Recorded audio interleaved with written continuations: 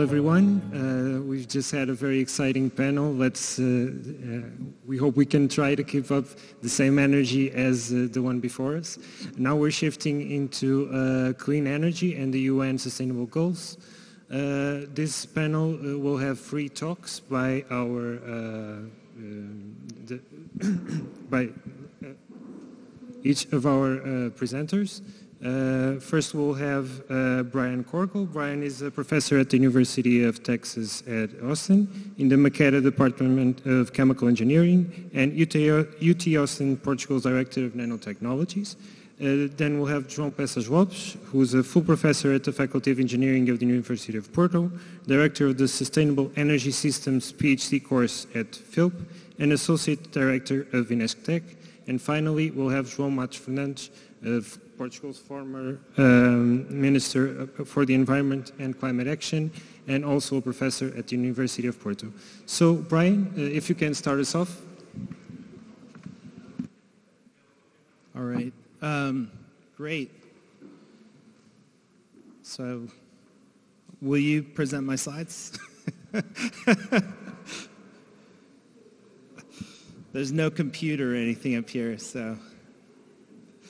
Okay, great. Um, so I'm just going to take a few minutes and talk a little bit about um, generally where the world's at on the UN sustainability goals for uh, number seven, which is clean and affordable energy.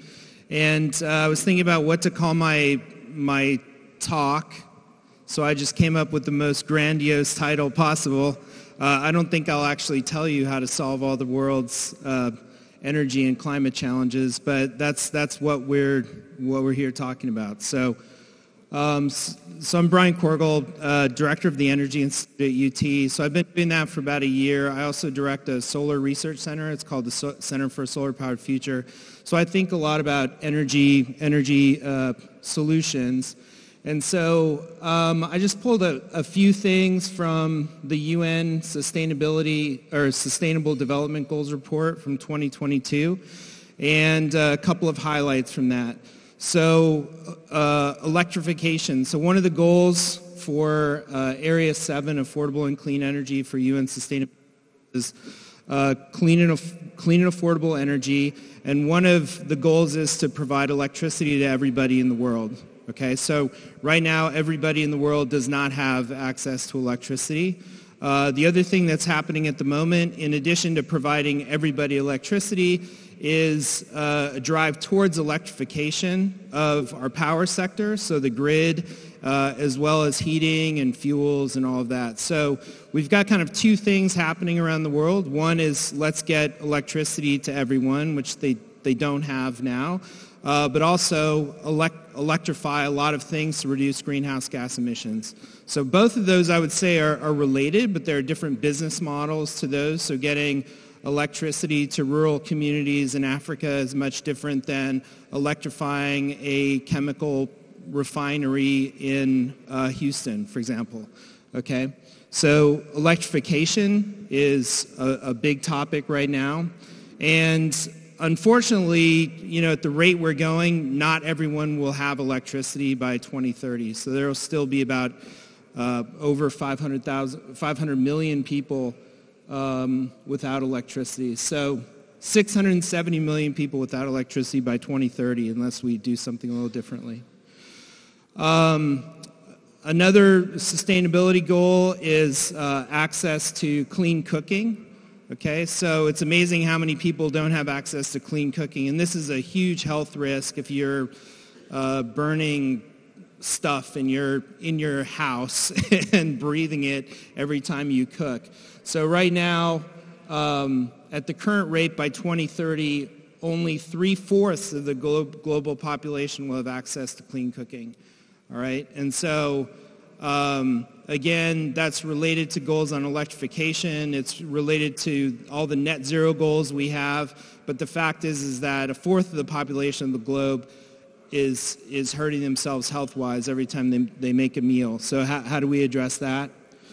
Uh, another goal is um, deploying renewables. So one of the challenges with deploying renewables is not that the technology doesn't exist, but it's very capital intensive.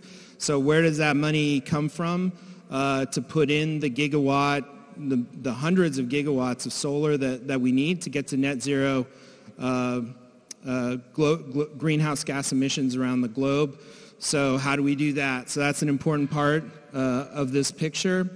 And then another part is uh, public financing for renewable energy. So again, there's, there's I guess I, I, sort of think about two aspects of this is how, how are we going to get everyone the electricity, the power that they need in their lives where they don't have access to it already?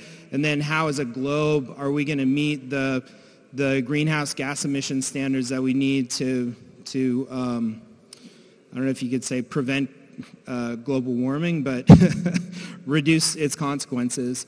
Okay, and so this is a challenge as well, and it's a little bit discouraging in the last couple of years that the amount of renewable adoption has been dropping uh, globally. That's not true in the United States or in Texas, but uh, apparently globally. So these are some of the major energy challenges around the world. Um, and so in the, you know, in the, the background of this, the cost of wind and solar power keeps continuing to drop. Um, again, the challenge is where do you come up with the capital to deploy it, especially in countries in Africa that don't have access to any, any electricity. The technologies exist, but how do we, how do we get them there? Okay, so when we're thinking about energy research, it's not just developing a new, a new battery, you know, what's, the, what's beyond lithium, what's the sodium ion battery, it's also the policy, it's the finance, um, and it's a global cooperation. And that's where I think UT Portugal program can play such a huge role because this program is really about global cooperation between countries. Uh, one of the things that we think about a lot uh, at University of Texas is industrial decarbonization. So a couple of activities we have right now are looking at um, uh, electrification of power heating, for example. So if you look at where greenhouse gas emissions come from, 25% of all the greenhouse gas emissions are from industrial processes, chemical refining, steel making, cement making. And if we're talking about uh, globally, we want to be able to provide electricity to people, okay? But if, I mean, we also want to provide materials for buildings and cars and transportation. And so right now that uh, those manufacturing processes have a very large carbon footprint. So how do we reduce the carbon footprint of industrial uh, related emissions? How do we electrify all those processes? Those are, those are major challenges, and we're thinking about those a lot at University of Texas at Austin.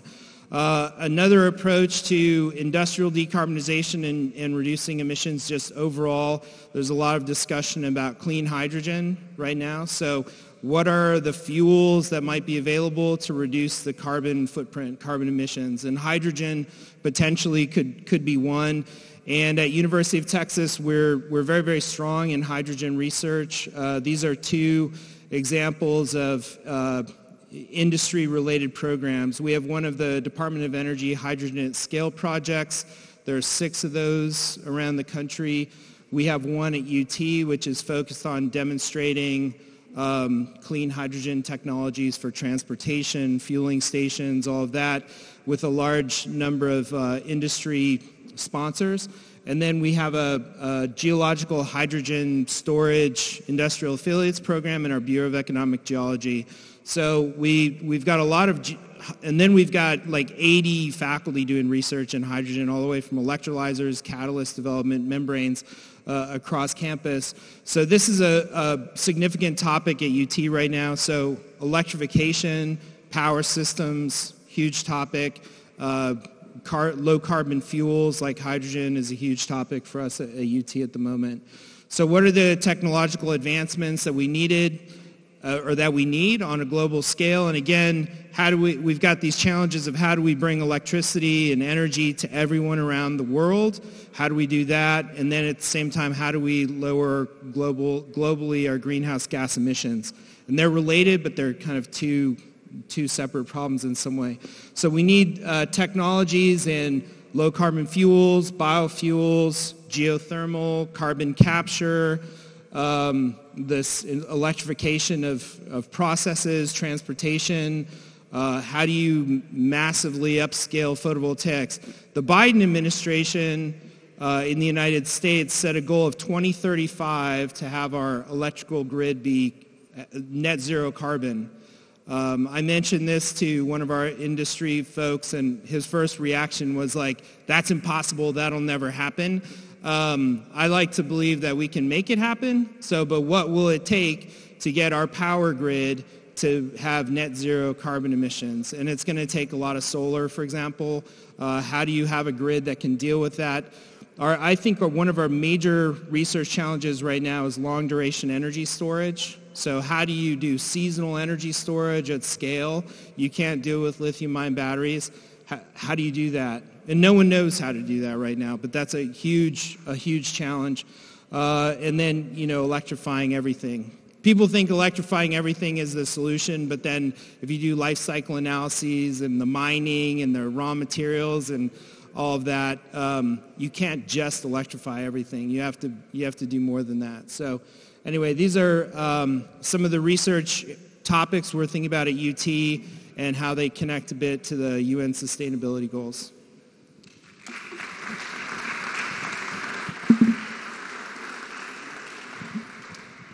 Thank you, Brian. We'll now have João Peças Lopes with, is the next speaker with a talk called Energy System of the Future, Power System with 100% Renewable Energy, The Long Wait. So, good afternoon to all of you. Um, first of all, I want to thank to the um, and Portugal um, uh, program having invited me for this talk. I'm very happy to be here and uh, uh, I'm going to talk about um, how the electric power systems of the future will evolve and will evolve up to um, a scenario where we will have 100% of renewable integration in the system. But uh, as I want to show you, there's a still long story to, to face in the coming years. So I'm sure that all of us understood that we are no longer facing climatic threats, we are facing climatic facts. Because uh, we, the climate change is a fact, so the temperature of the Earth is um, rising up, and this will create tremendous problems in terms of the meltdown of the ices in, in the Earth, and this will rise the levels of the oceans, and with dramatic consequences in the climate and the lifestyle of all the populations in Earth. So this means we have to find out solutions. And uh, the very best solution to, to cope with that in, from the energy point of view is to electrify. So is to electrify the society and the economy uh, for the coming years. Of course, electrification is not the only solution. Um, we will need other energy carriers to deal with the problem, but the main uh, fact is that we need to electrify. And this is the message I want to, to pass. So this is just um, a view of what are the prospects for Portugal up to 2050. Uh, and uh, so Portugal has a very ambitious plan to, to decarbonize the economy in Portugal such that, for instance, by two, in 2030, we will have more than 80% of the electricity that is, is, going to be consumed will come up from renewable power sources.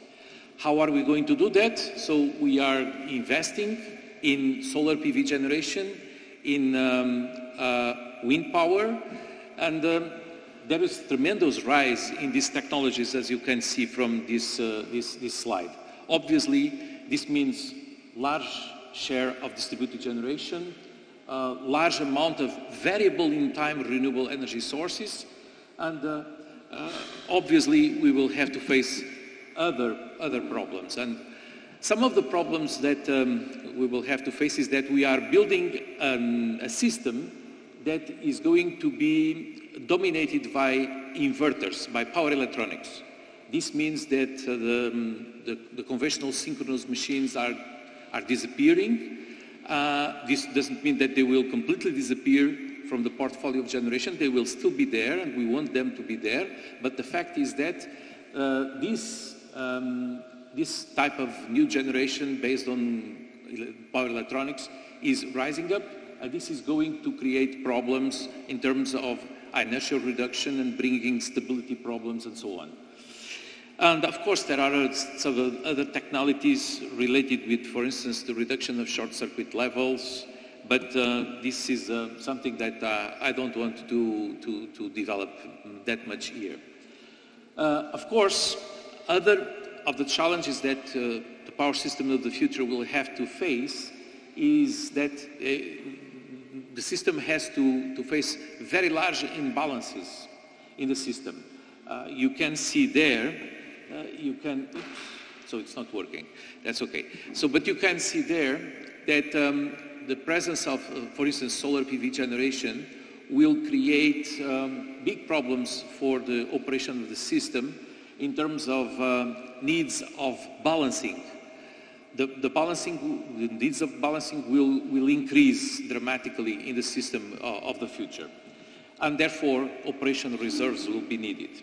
At the same time, we will have to, to face difficult voltage regulation problems, especially in distribution grids. Uh, and this is um, a problem that may be uh, difficult to deal with.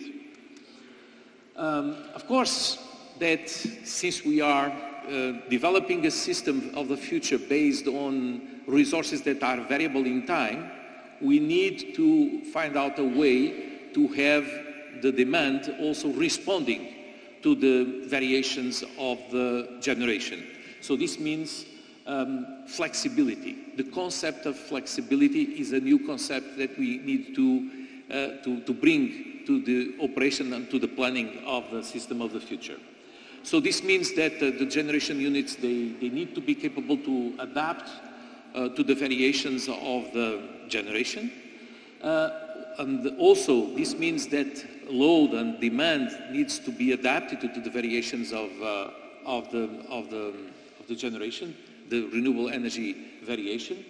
Um, of course, consumers, in terms of behavioral changes, they have also a key role to play. And um, uh, we will have to, to deal with um, generation units that have to be very fast in responding to the changes that the variation of renewable power sources brings to the operation of the system. And of course, this will be done using the so-called smart grid concept. And so the acceleration of the adoption of smart grid concepts is something that uh, will be key for the years to come. But for all this to be true, we will see that storage will be very, uh, will be really key for the development, for the success of all this development, of this futuristic view that will become reality in 20 years, 30 years from now. So this means that we will have to manage uh, so storage, and storage here must be seen as um, a multi-level, multi-technology issue. So this means that we will have to cope with um, batteries, different type of batteries, flow batteries, lithium, lithium ion batteries, um, hydro generation, reversible units. So there's a lot of, uh, of effort to be done on that uh, technology because it's a very mature technology. And um, also we have to, to realize, and I will show you, you in the next slide, we will have to realize that we also need to deal with um, seasonal storage. Because, and seasonal storage is really challenging, as the previous speaker already mentioned before. So because uh, we will have to store energy for long periods of time. And uh, one of the ideas is to produce uh, hydrogen through electrolyzers using so electricity from renewable power sources and store it in salt miles, in, so, in salt caverns, I, I, mean. So th this is something that soon will be uh, exploited. And I'm bringing you um, some simulations we have performed for the year 2030 for Portugal, where you can see in blue, um, so the, the, the, load variation along the year, and uh, in green, the curtailment we, for, we foreseen to happen in the, in the, in the power system of Portugal uh, in eight years from now. So there's a lot of curtailment of renewable power sources because demand will not be enough for the offer of the renewable power sources. So this means that um, either we curtail or we store. And the fact is that at the same time, the system, and this is not only the case for Portugal, is everywhere, the system will still need firm capacity. Firm capacity to keep the reliability indices, to keep the security of supply. And this means that at the moment, this firm capacity is provided by thermal power plants, like, uh, for instance, uh, in Portugal is uh, combined cycle gas turbines using natural gas. So the idea is to decarbonize also these power plants. And that the way to do it is by using hydrogen. So that hydrogen that uh, is there curtailed, instead of being curtailed, it can be stored. And um, it is um, interesting to see, if you look at that picture, that uh, the curtailment is uh, supposed to happen more during spring and summer, while the needs of firm capacity will happen in late autumn and in winter. So this means we need to transfer energy from spring and summer to late autumn and winter. So this can be done using what I have just mentioned before in my previous slide. So storing the, the electricity, the surplus of renewable electricity via hydrogen using electrolyzers, store that hydrogen in cavern, salt caverns, and then uh, produce again electricity uh, by, by using, for instance, uh, pure um, um, hydrogen turbines or fuel cells that will be, in this case, keeping the, the, providing the firm power and keeping the security of supply of the system. In this way, we will fully decarbonize the electric power system of the future. But of course, this also needs to be done using advanced grid codes. Portugal has now um, a grid code that enforces the requirements of generation, and this is extremely important. But I, I can tell you that I was involved, I, I led a group that, that uh, presented and designed a grid code for the island of Madeira. And uh, the island of Madeira has very ambitious targets for the future by increasing renewable generation. And we were very much demanding there than in Portugal mainland. Also, the security of supply issues, they need to be uh, addressed very, very carefully, and there are tools to deal with that. Uh, we need better forecasting tools because for the operation of the system, we will have to face the variability of the renewable power sources and how to cope with that, how to manage uh, the, the, conventional um, portfolio of generation that will be based on hydro units. Uh, and uh, also, we have to deal with um, issues related with the online dynamic security assessment. That is, we need to monitor the robustness of the operation of the system uh, by every, every, every minute. Of course, this will evolve in a way that uh, the interconnection capabilities will increase in all Europe. So we are developing, um, uh, soon we will start developing an infrastructure such that we will be capable to transfer energy from the north to the south and from the east to the west and vice versa in Europe. Of course, this means the using of HVDC interconnections, and this is something that we will see uh, popping up in the coming years and also in Portugal, because if we want to exploit um, uh, wind offshore, we need to start dealing with that. And very, very important, we need to think about the market structure. So do marginal markets still make sense? So uh, we are building a system that is based on uh, renewable power sources with um, a, cost that is almost, marginal cost that is almost zero. So uh, we need to, to think carefully if marginal markets still make sense. In my opinion, I think that they don't make sense, not now, but soon. Uh, we will need fast response reserve markets. We will need capacity markets, flexibility markets, new ancillary service markets. Um, and of course, we need also to deal with the, the distributed generation and the, all the, the, the, exchanges of energy that may take place at the level of the um, almost consumers. So I mean, in this case, the neighbors in uh, distribution grid. So dealing with, in this case, a community, energy community uh, using, using renewable power sources. And this is my last slide with the conclusions, just to, to give you the, the, one very important message that the future and the success of this vision relies on using smart players. And the smart players are there. But very important for all this success is that we also need a smart regulation because it's through a regulatory approach, a regulatory framework that we will be capable to develop a stable uh, mm, uh, solution to develop from the economic point of view all these uh, uh solutions. Thank you very much for your attention.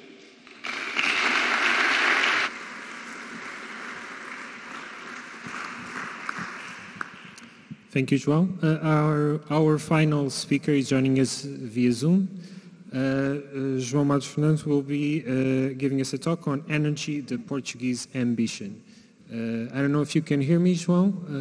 Whenever, whenever you can start, go ahead. Well, thank you so much for the invitation. I hope that you can hear me well.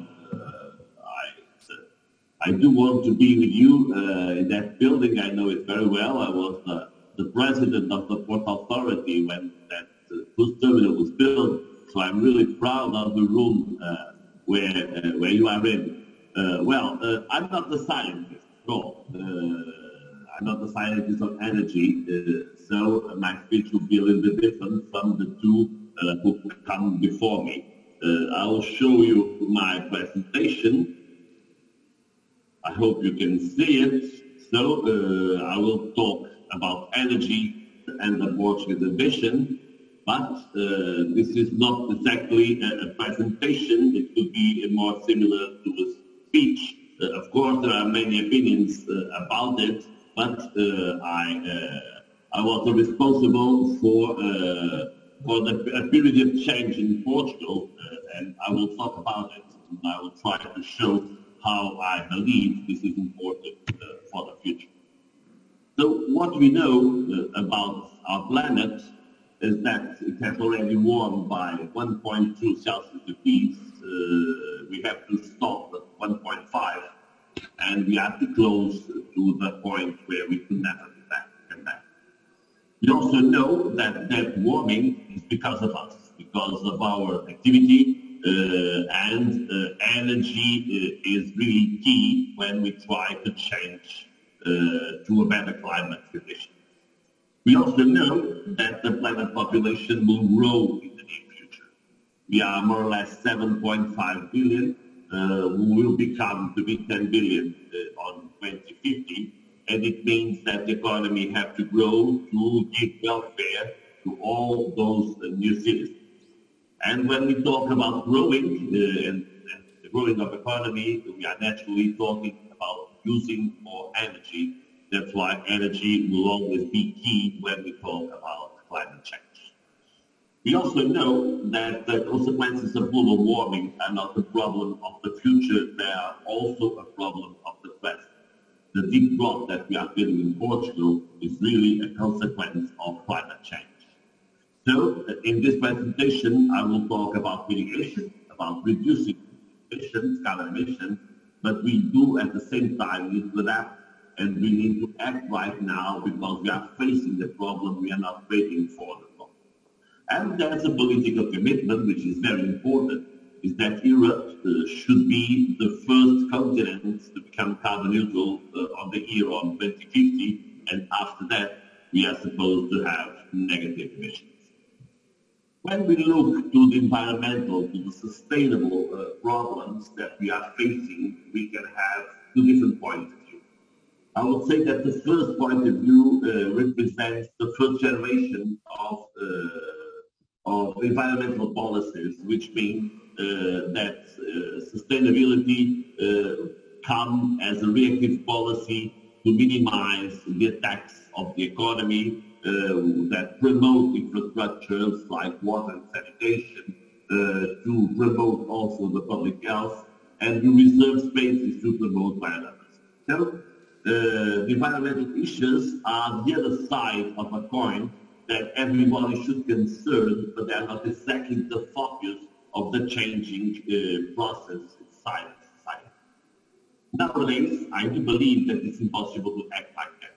Yes, we have some problems of the generation that we should attack and fulfill, but definitely uh, we need to look at sustainability as an active policy that promotes investments and at the same time can make the economy grow and protect the natural values.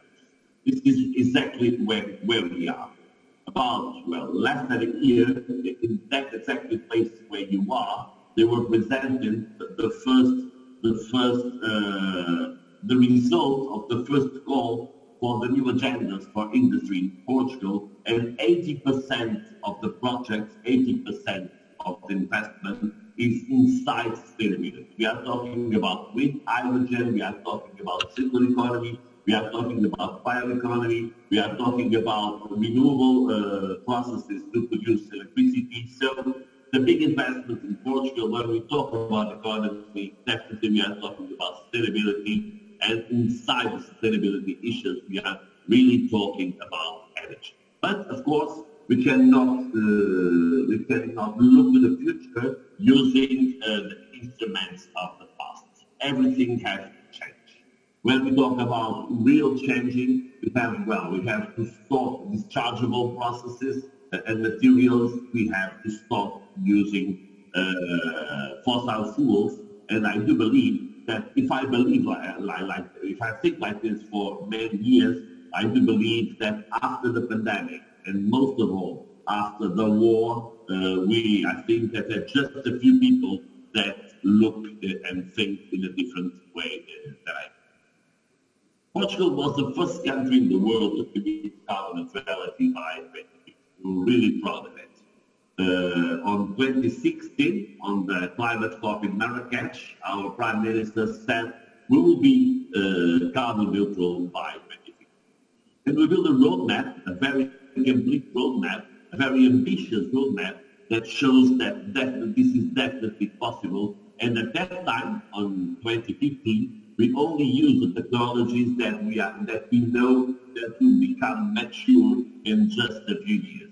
When you look to this to this uh, to this picture, uh, I think that everything is running faster than we expect at that time. But anyway, a very very big change. You can see on the on the top left, uh, we produce 68 megatons of CO2 and the sink capacity of the country is about 9 megatons, and we have to uh, reach 2050 producing no more than 13 megatons of CO2, and, and, and we have to raise the sink capacity to that figure. Believe me, everything in here, and we, we, we, we do it for all the economy and all the subsectors, from the electricity producer to mobility uh, and with uh, the all the other sectors, the economic and social sectors inside, everything is, is running faster than uh, it was expected on 2015. That end of coal fire, which is now on 2021, on the first picture, we told that it had to, to, to be till 2030. Uh, and at that time, when on 2050 we said that we'll stop using coal by 2030, there's a big noise and people said it was impossible, but we did it. We did it nine years before, uh, for one year, almost for a year. It will be completed on the 30th of November. Portugal is the second country in Europe, not nuclear, to stop using coal to produce electricity.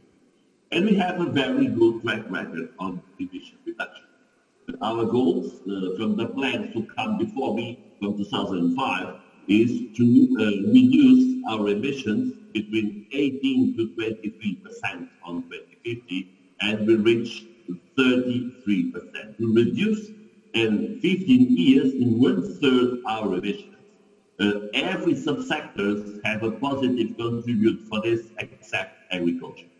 Definitely it's harder to reintroduce the technology in agriculture, but there's a lot of things to do in this subsector And this is the evolution uh, and goals of the roadmap for total energy. I'm not talking about electricity for total energy, that uh, how things are, uh, are now uh, since 1995 till 2020. I don't have the figures of 2021.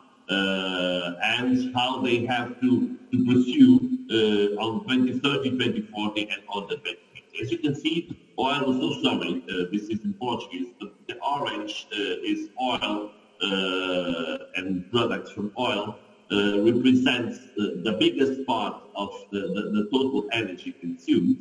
But we, uh, we, we end 2020 with a 34% of the total energy was comes from, uh, from renewable sources. The year of 2005, this year here, uh, with the highest consumption, uh, is very important because the green still that year is only electricity coming from from dams, and on the 20 uh, on 2005 become uh, the, the, wind power, uh, which raises a lot from 41 megatons to 75 megatons. We almost double in 15 years, and now the solar is really, it's just not very important nowadays, but definitely in two, three years will also become a very electricity, As I told you, coal uh, on 2020 means almost nothing, 7%, and on 2022 it will 0%.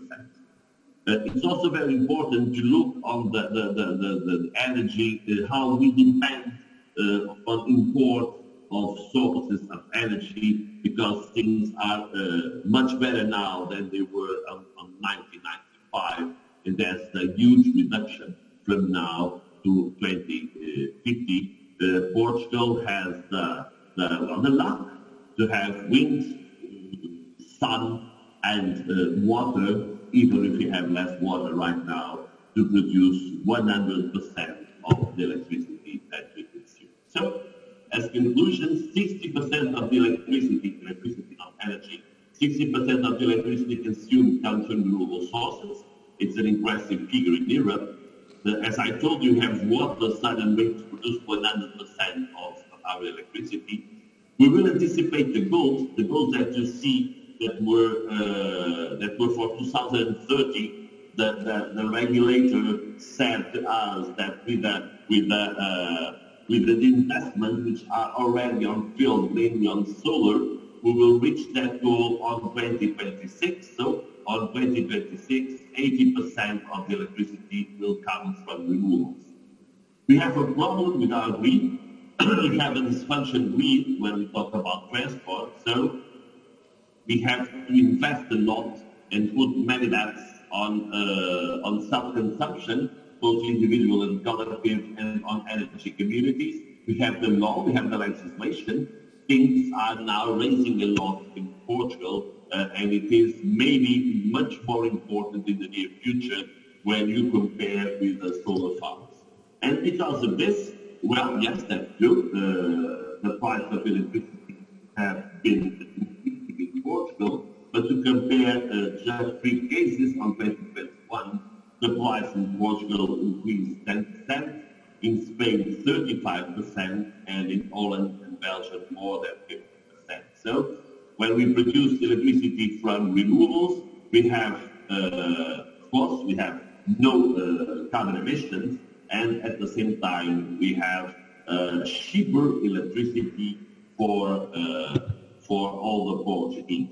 Just this is the, the price of the spot market uh, during this year. Uh, so sorry, I think it's from the Spanish Spanish publication, but as, as we have a, common market for electricity. When you read Spain, it means both Spain and Portugal when we are talking about the spot market. And definitely those who depend more uh, on uh, renewable sources are much better placed than all the others uh, because if you look to France with such a, a nuclear power, to Italy, Germany, uh, the prices has raised to to that we, didn't feel uh, in uh, in Portugal or in Spain. So this is really important for uh, also for the economy. And when we look to the, to the future of those prices, definitely definitely the renewable sources are the best for the environment, the best for the society, and the best for the economy. Thank you.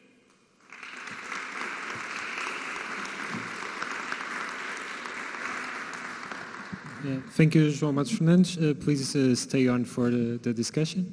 Uh, I'll start with uh, Brian. In your uh, presentation, you talked about uh, electrifying, the need to electrify our well, way of living, so to say. can our grids today sustain such a high level of electrification? And if not, what, what has to be done to, to make our grids more stronger and more flexible? And also, what role does nuclear play, if any, now that we're going into a renewable uh, world? Okay. Um, I guess I'll answer the first question. Uh, so, so the grid, first of all, the grid is all electrified because it's electricity. It's a, the power grid. Um, I think when people talk about um, electrification of everything, they're thinking about um, how do you reduce EVs, yeah, how do you reduce greenhouse gas emissions overall? So instead of getting your electricity from natural gas-fired power plants, you go with renewables like solar, wind. So there are two aspects of electrification related to the grid. One is the introduction of more renewables, you know, so, so solar, for example, not only is the power output fluctuating each day, like during daytime versus night, it's seasonal also, so there's much more sunlight in the summer than the, than the winter. And so the, that intermittency, those fluctuations, you have to deal with them somehow, and the grid is not set up to deal with those major power fluctuations uh, at the moment, which are unpredictable a lot of times. So um, when people talk about electrification, um, one, the goal is to reduce greenhouse gas emissions by more renewables, introduces this challenge of intermittency and unpredictability. But the other aspect is that, so our energy use is uh, half of its power or electricity, the grid, and the other half is fuels and, you know, gasoline and all of that. So if you can add more renewables that are lower greenhouse gas emissions to the grid, and then you can electrify processes that like your cars that instead of burning gas now you have an electric vehicle. You get that electricity from the grid that's powered by renewables. You're lowering pretty dramatically the overall greenhouse gas emissions. So that that's the reason people are looking at um, talking about the grid electrification so much is it can provide a route to lower greenhouse gas emissions, but with the problems of intermittency and, and all of that, that you need some sort of seasonal storage or storage of some sort uh, to deal with. So to your uh, question about nuclear, so nuclear is, is uh, low carbon fuel. It, you can look at, I mean, you have a lot of nuclear waste and, and other issues. Um, some of the challenges with nuclear are the permitting costs. Um, just the cost of, of the power, um, safety concerns the, from the public, things like that. There are emerging new technologies people are exploring. So at the University of Texas, we have a, a strong program on small modular nuclear reactors looking at molten salt uh, as a way to have sort of safer, maybe lower cost nuclear. And there's a, a significant program on that uh, UT Austin with Texas A&M and Abilene University or something. So, so we actually do have research forward looking on nuclear as well. But I think nuclear is, I mean, it's an di- entirely different discussion for a variety of reasons. Okay.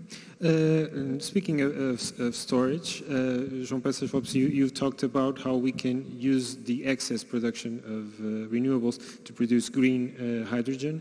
Uh, how, how, you, how, strategic do you think for Portugal is the production of green uh, hydrogen, and should we also look for the production of blue hydrogen using natural gas with carbon capture? Okay.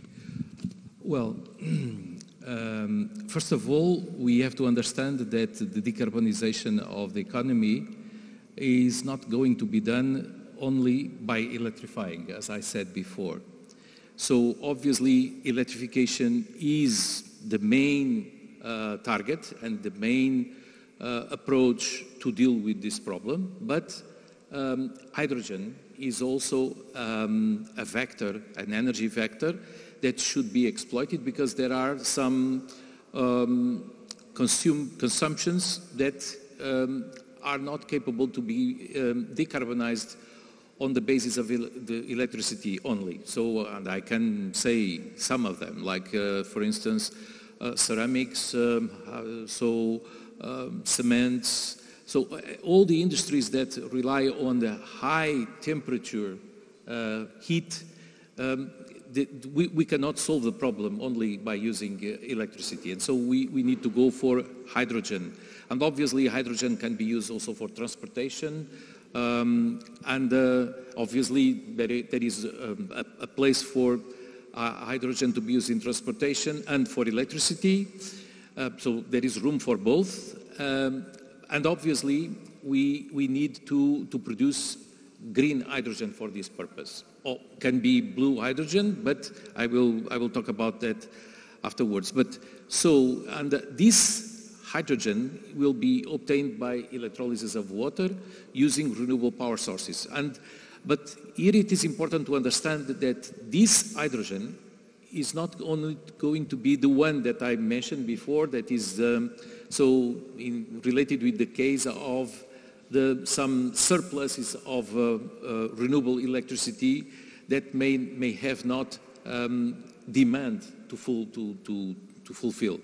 So, and, and for those cases, um, obviously we need dedicated power plants, uh, solar PV um, plants, uh, wind parks that will produce electricity to, to, to, to large-scale electrolyzers to, to feed the needs of the industry, to meet the, the, the needs of the economy on hydrogen. The, the idea that I presented before is more related with the fact that we have a problem in the electric power system that is we need always to have firm capacity.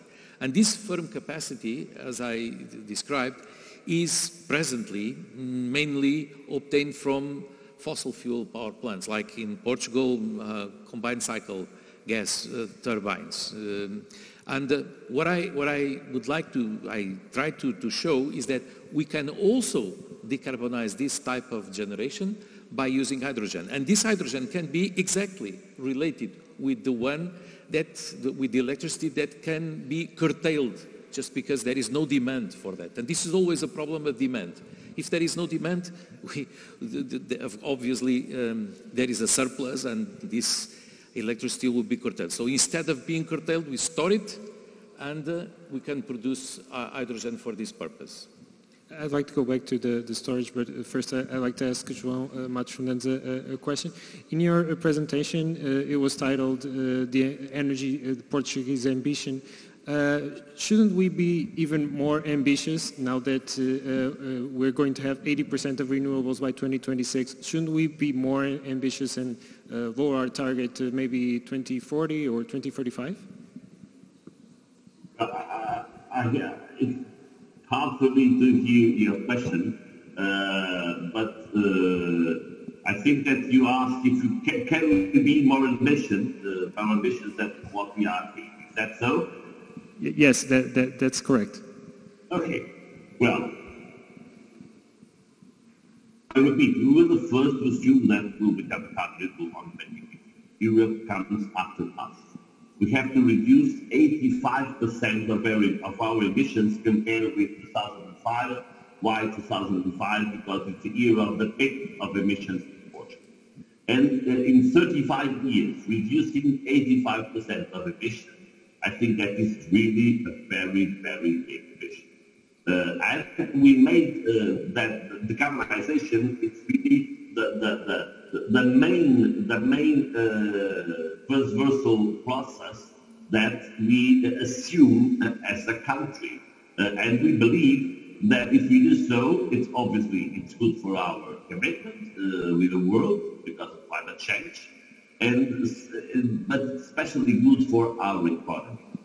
In the roadmap, uh, we studied three different scenarios, and the scenario that can uh, assure us that will become carbon neutral on 2050 is really the one where the economy grows more.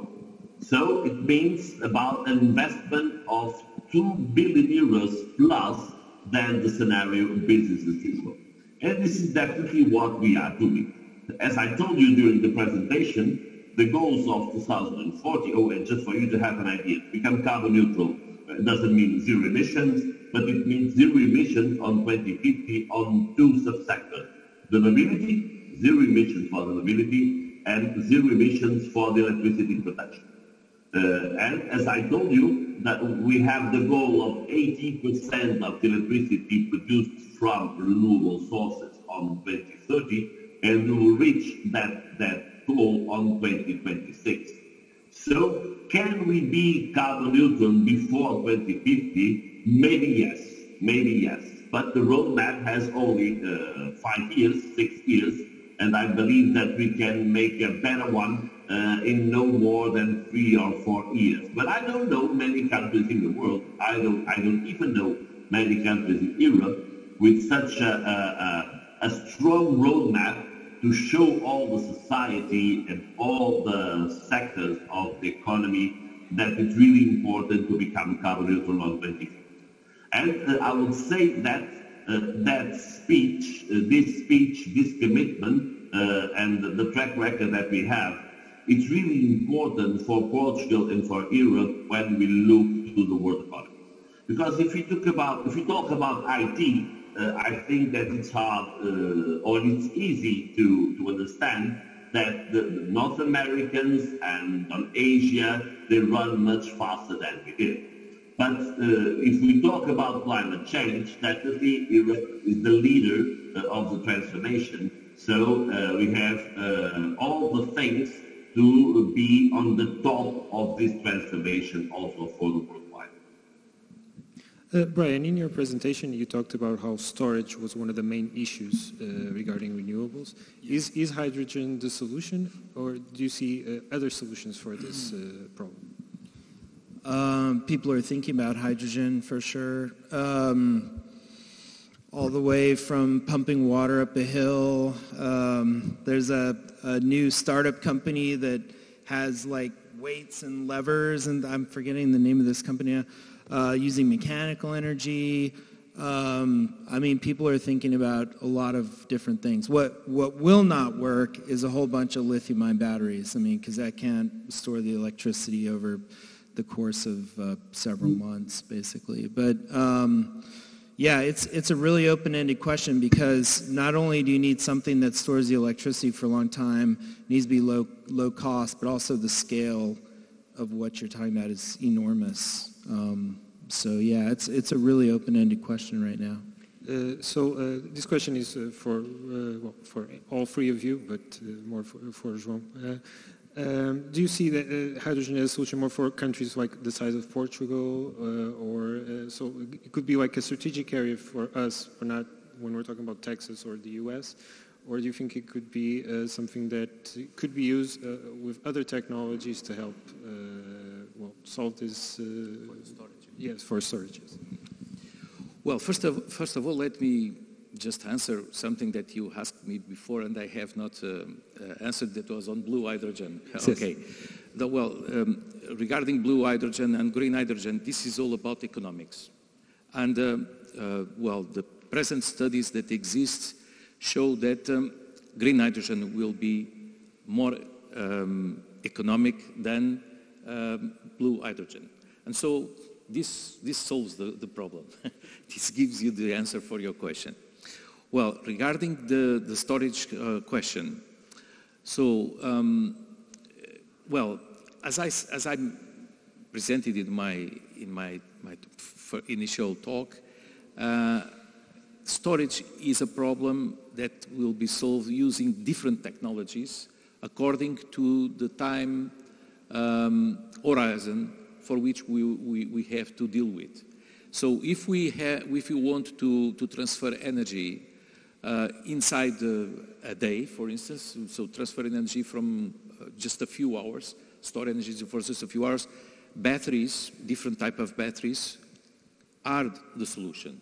If we, if we need to store energy um, on the basis of um, dealing with within a daily cycle or even a week cycle, then hydro, hydro pumping, which is a very mature technology, is the solution and we will see in the coming years um, the retrofitting of existing uh, hydro uh, plants that will be capable, uh, will be so retrofitted to be capable to, to also to pump water and to work and, under a, a reversible cycle. And of course, hydrogen is the solution, in my opinion, for long-term storage, for seasonal storage. And I think that this is not only a problem of Portugal, this is a problem of all the countries um, if they uh, start uh, increasing the amount of renewable electricity in, in, the grid. I have been in Holland last week on a, in a conference, and there were some studies from International Energy Agency saying that um, from the moment we have power systems with uh, more or about 80% of renewable generation in the system, we need to deal with seasonal storage. And so this is something that we are about to face in Portugal. We have 60% now. Soon we will be more than 80%. So this is something that we have to start dealing with very, very soon. And this, as I said, is not only a problem of Portugal. It's a problem of any country that is facing this challenging and is solving it using uh, renewable generation based on uh, resources that are variable in time. So they, they can be forecasted, but we cannot do long-term forecasts. I can do forecasts for uh, 24, hour, 24, hours ahead, 48 hours ahead. They have a error, that's okay, we, I can manage with that. But for long-term forecasts, we, cannot, we, we, we are not capable to deal with it. And so uh, in this way, we really need seasonal forecasting, uh, sorry, uh, seasonal uh, storage, long-term storage. Uh, uh, we are almost out of time, but we still have time for, a couple of questions. Uh, João Matos Fernandes, I'd like to ask you, well, Portugal has obviously a, long and very good relationship with Spain when it comes to energy. We share, we basically share a grid. However, it's not the same with the rest of the EU. What can Portugal do within the European Union to sell more energy to, to France and other countries? Or are we stuck uh, uh, with, with, Spain and maybe northern, maybe looking for uh, to northern Africa? I'm so sorry. I'm waiting that someone writes the question. Uh, oh. Okay. Uh, Portugal and Spain, we have a single market. So we uh, work together. Talk about import or export from Spain, uh, it's not quite exactly. Uh, that's true that in this month, uh, in the recent month, because we don't have water in dams, we import uh, more energy, uh, or electricity, sorry, than normal, but it's for, not exactly for technological problems. We can produce that electricity from gas, it's because it was cheaper to import it from Spain. Uh, but yes, uh, we depend a lot on Spain if we want to look to the Central Europe. Uh, we, uh, Professor Professor Lopes talk about green hydrogen, and I believe that with the, the, the, capacity that Portugal has to produce green hydrogen such a low cost, uh, we will, will transform the paradigm that Portugal has always import energy and we can export energy. And yes, we depend on Spain. Uh, Spain is a partner. Spain is also uh, someone who can compete with us.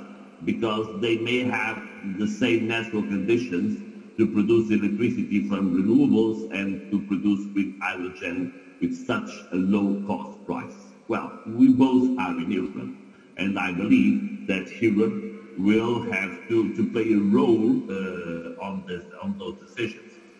We are now discussing the opportunity to build a pipeline from Portugal through Spain to France and to Germany. And we have a big support from Germany and we are working together with Spain, but France is against. Uh, France is against because they want to protect the, the, the, the nuclear power that they have with a lot of problems that nuclear has been bringing to them. And the last slide that I show you, it's the, the best proof that uh, nuclear is not the solution uh, when we are talking about low prices. And the new nuclear, it is also not a solution. Uh, we have many uh, reverted subsidies on the past for fossil fuels, and I believe that we will have those subsidies to, to put on the, the, the, nuclear energy, the nuclear electricity, if they can, if they want to be inside the market in the near future. So I think that Europe together uh, have to find the better solutions. We know that we shouldn't depend on Russia. Uh, we know that we shouldn't replace Russia uh, from the United States to import energy we know that all the other markets that can sell energy to Europe are, all, all of them are very unstable, even in the north of Africa. So we have to be much more independent, and Portugal and Spain have an important role in here, and we work together. Uh, we, uh, do we always have success working together? No, we do not. But uh, we have many success together, and I believe that in the near future we'll have Okay, thank you. Uh, before they kick us out of the stage, uh, does anyone in the audience have a question to our speakers? We have one in the back. Hi, uh, so I, am an aerospace engineer, so nothing to do with renewables. Uh, in any case, um, I've been following this market for quite a bit, uh, probably over 10 to 15 years. One of the things that has struck me all the time, especially relating to Portugal, is that the, the solar potential for Portugal is among the best in Europe. Uh, perhaps Cyprus is comparable, Spain, and not much more. But uh, when we see the amount of uh, power installed in Portugal is, is uh, equivalent to less than what the Netherlands has installed in 2021 and 2020, it's about, um, uh, let's say, a country like Germany in 2014 had 50% of, of uh, solar power at some point. Uh, why have we uh, fallen behind in this and uh, what are we doing uh, to, to overcome this situation for the future? Is for who? For which Sorry? of the speakers? Um, to any of the three, but uh, potentially to uh, Professor João Matos Fernandes, who has been a, a minister for a, a, while and probably would know more about the, the situation. Okay, thank you. Uh, João, I, I, don't know if you heard the, the, the question. Uh,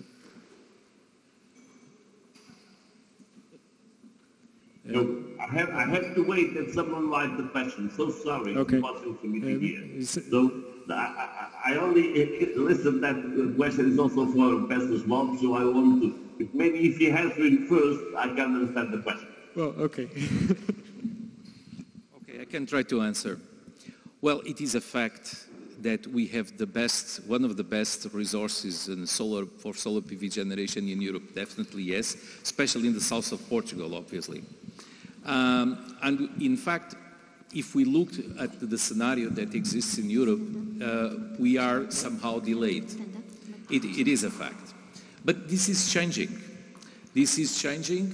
We are um, investing a lot on solar PV generation. And um, uh, so if presently we have about 1,500 megawatts installed capacity, more or less, so the targets are for more than 9,000 megawatts in 2020. So this is a tremendous jump in the coming years.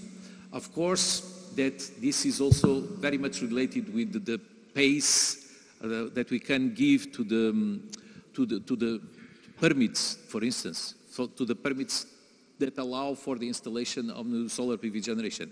Well, let me tell you that I just read a, um, new saying that the Portuguese government, um, uh, so there is a law from today that says that uh, there is uh, simplification procedures to install solar PV generation. So we will uh, definitely um, be on the same pace as the rest of Europe in a few years. But it is a fact, and this is something that needs to be solved. So these large investments on solar PV generation is, needs to take place and is taking place. Okay, but this is not the single solution, okay?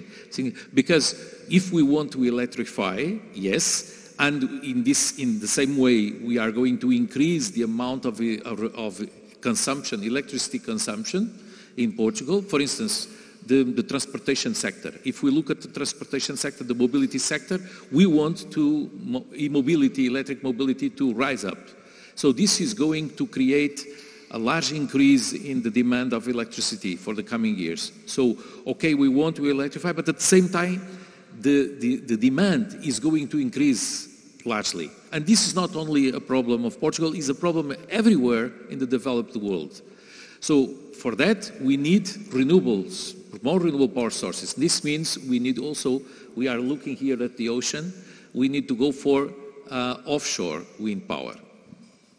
Uh, Brian, would you like to add anything well, before we finish? Um, I would just say in, in Texas, people ask the same thing. So Texas has tremendous solar resources, especially the west part of uh, west part of the state. And Texas uh, was doing a lot of wind development around 2000, 1998. Um, so a lot of wind, but almost no solar. And people ask the exact same question you were asking: What what is going on with Texas? Why isn't why aren't people installing solar? And then what happened is around 2010, a lot of people realized they could make a lot of money by installing solar.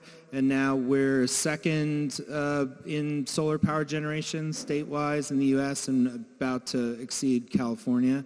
So it, it'll, it'll happen, I, I think, in Portugal. I think it just takes uh, recognition of what the business opportunities are really more than anything. And if there are tax incentives in place, that, all, that also helps um, additionally. So from, from the governmental side in Portugal, there are, I mean, if you want to catalyze the, you know, installation, implementation of solar in Portugal, some small tax incentive can go a long way also.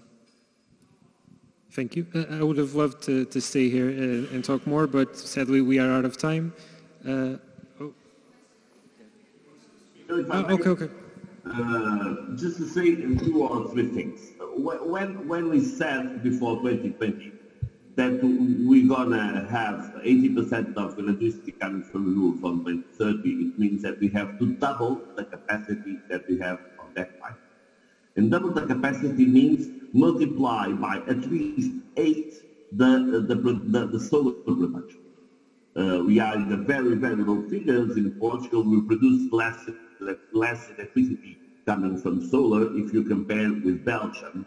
So we do need to uh, grow a lot on it. And we are doing that. Uh, I think that uh, Peter have already give you the figures, but we are, uh, we are, all, well, last year it was about 600 megawatts. This year, almost one gigawatt coming from solar. So things are really running fast. But uh, when we uh, when we built the roadmap, we didn't have the idea that the, the that the offshore wind could come as fast as it will come. Uh, on the, the figure that I show you, I was talking about uh, less than one gigawatt on 2030 coming from offshore. And definitely we will have five gigawatts coming from offshore wind on 2030. And it's going to be a very, very big help because, as you know, the times uh, to produce electricity from sun and from offshore wind are really different. The offshore wind is really important at the end of the day, which is uh, when the time when the sun uh, production uh, decreases. Uh, so uh, this is brand new in Portugal, and it will be really important, mainly because of another.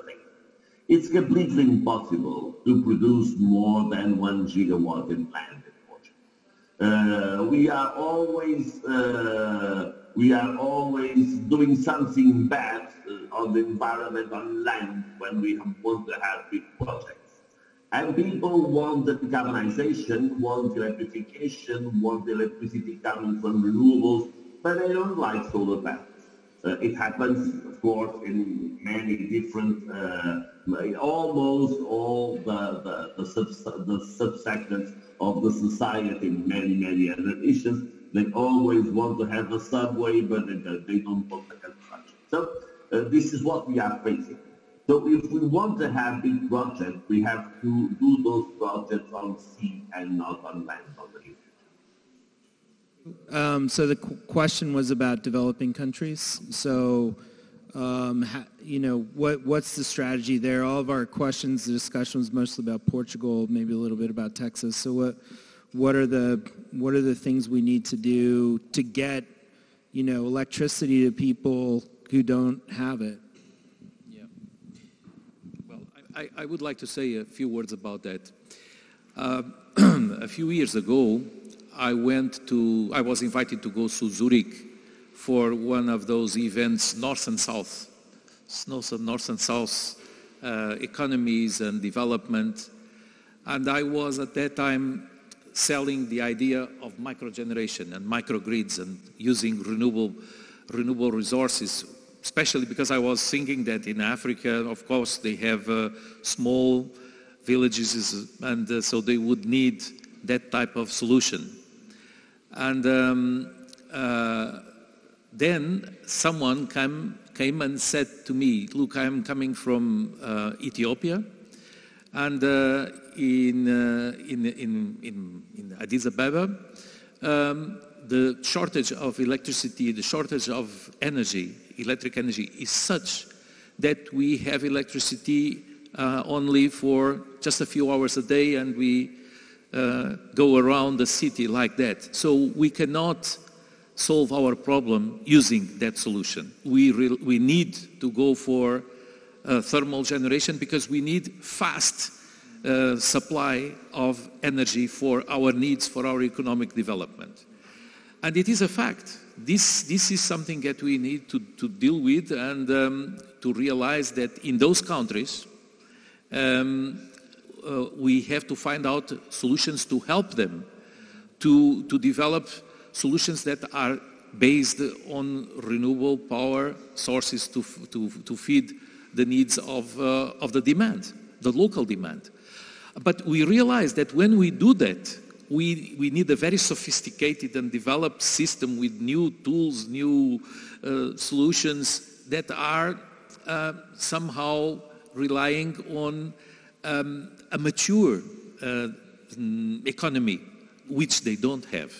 So the only way to deal with that is to, to, to, to finance, to help them financing those solutions.